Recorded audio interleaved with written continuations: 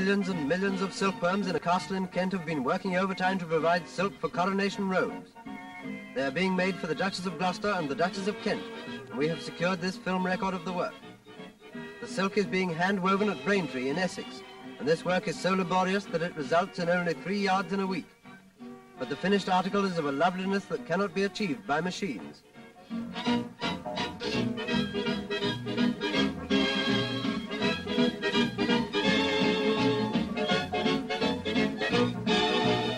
thank you